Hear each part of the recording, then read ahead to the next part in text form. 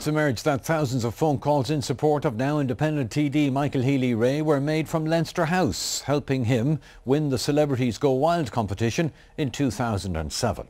The deputy has denied any knowledge or involvement in the calls. His victory in the high-profile Celebrities Go Wild programme for charity in 2007 certainly saw him outperform some of the well-known favourites who took part in the programme as part of the People in Need telethon. But now it's emerged 3,600 votes were cast from a phone in Leinster House at a cost of 2,600 euro to the taxpayer.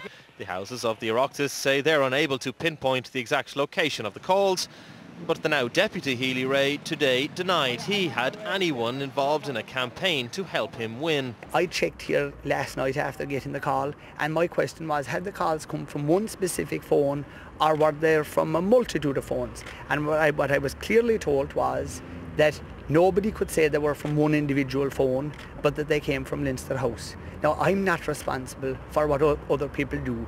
In relation to the use of public money, he had this to say. So it's about raising money for charity. And yes, you are correct in saying if 2,000 euros was spent from the public purse, that would not be right.